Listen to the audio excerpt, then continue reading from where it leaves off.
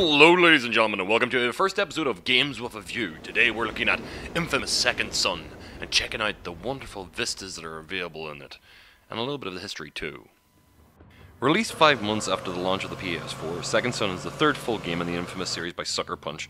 With about four years of development time, Sucker Punch wanted a fresh new start in their modern superpower series, and setting it in, in and around their home of Seattle, taking special care and attention when working on its accuracy, from the sounds of native birds and nature to the city atmos that you find in the majority of the game. This love letter to the locale provides many beautiful sights, front loaded as it were, even in this opening sequence. Uh, a natural, unspoiled space,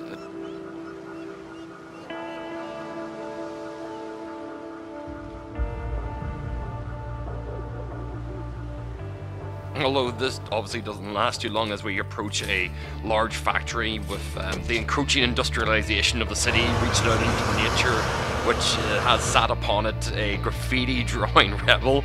Now, that's not exactly a subtle analogy, but it's kind of good for explaining the temperament of our mildly surly lead character, Delsin. Hey, if art is a crime, then just. Oh, damn it. Okay, think, Delsin, think. The opening tutorial section, by its very nature being a, a, linear escape, it leads you to find some beautiful vistas just by turning around corners. Just something that's lost slightly in the open world of the main city. But the, this gameplay, although it doesn't give you that kind of natural space, if you take a moment to just relax and listen, there's a wet beauty in the quiet Seattle afternoon.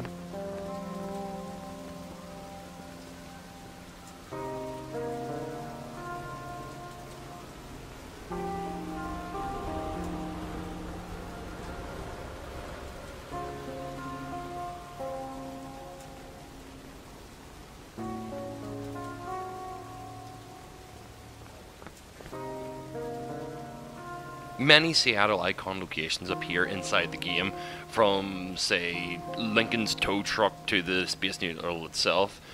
The city is alive with its locations, although it has been complained about the citizens themselves not truly feeling alive and just going about their own day.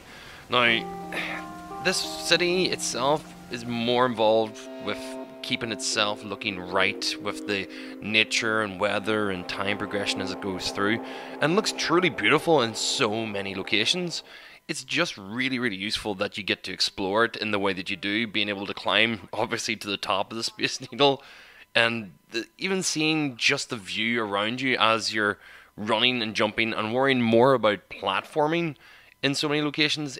It's uh, unnecessarily beautiful the distance that you can just look out to and just see where the edges of the city and the world around it kind of connect. To, so it's kind of hard to pick out a spot while you're in the middle of the action gameplay like this because you can see so much going on. And of course, things like the game HUD kind of get in the way of that.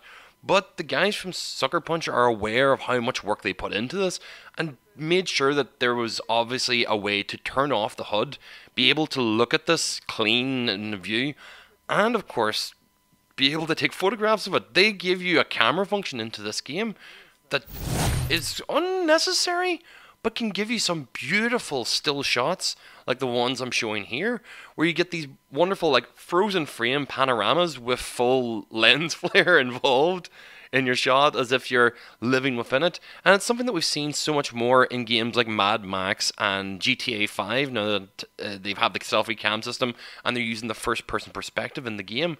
Open worlds like this become a stage, uh, something that we can perform on and actually use as an articulated background, something that is a, a, living set with a whole world around it.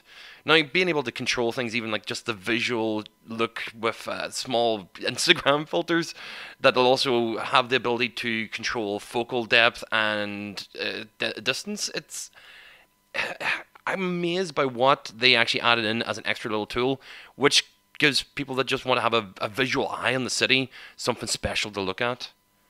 So, guys, this has been a game with a view. This is something that I want to do a little bit more of. Look at like viewing systems that are built into games.